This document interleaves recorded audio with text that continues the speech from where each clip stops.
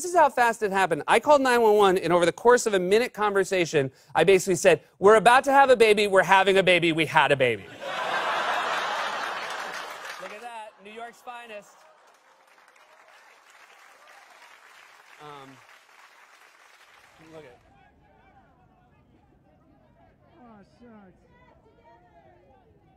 Uh, so my wife basically decided uh, decided for us, and she went and she lied down in our lobby, and uh, and and we just sort of like uh, created like a semicircle around her, and you know we undressed her, and the baby was just out.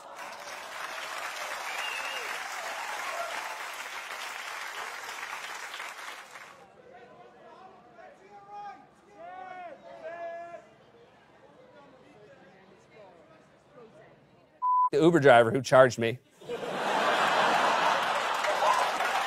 I mean, for real.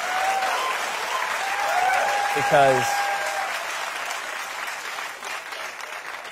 because we did you a huge favor.